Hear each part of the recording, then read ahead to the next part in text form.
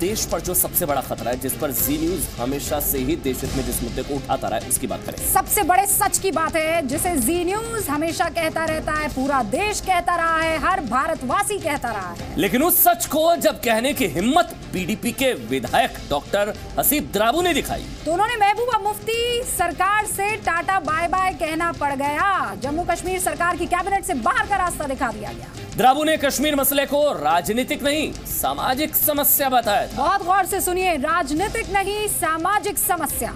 आज हम आपको द्राबू का वो बयान भी सुनाएँगे। और उस बयान का मतलब क्या है वो भी बताएँगे। जिसे पीडीपी जानबूझकर अपनी राजनीतिक दुकानदारी चमकाने के लिए दशकों से अनदेखा कर रही है। जम्मू कश्मीर सरकार में कल तक हसीब ड्राबू वित्त मंत्री थे। आज सीएम महबूबा मुफ्ती ने उन्हें सच कहने की सजा दे दी।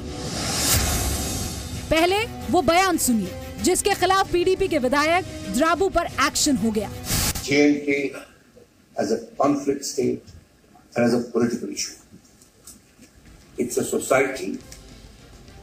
which has social issues right now. अब समझिए द्राबू के कहने का मतलब क्या था?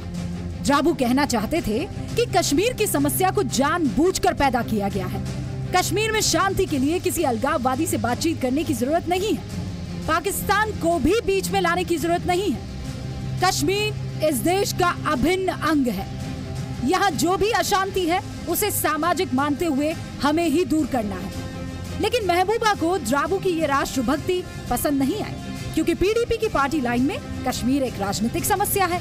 खुद महबूबा मुफ्ती कई बार घाटी में अमन के लिए पाकिस्तान से बातचीत की ज़रूरत बता चुकी है।